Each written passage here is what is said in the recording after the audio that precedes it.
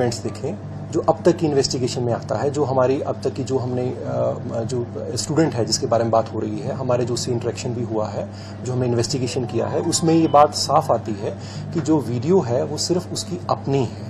उसके अलावा किसी और की कोई वीडियो नहीं है। ना ही स्टूडेंट ने खुद बताया है कि उसने किसी और की वीडियो बनाई है।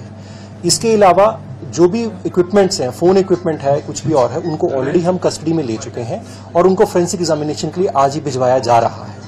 जो अब तक की तफ्तीश है, उसमें ये बात साफ़ ज़ाहिर होती है कि वीडियो जो है, वो सिर्फ़ उस उस लड़की की अपनी है, उसके अलावा किसी और की कोई वीडियो नहीं है।